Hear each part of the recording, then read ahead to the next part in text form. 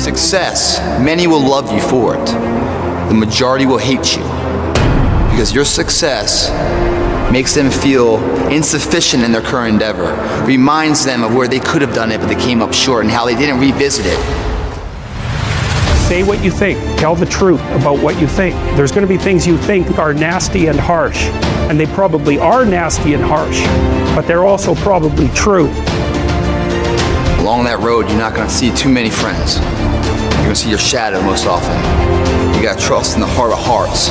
Inside what you're doing, what you believe in, is a worthy cause, a winnable fight.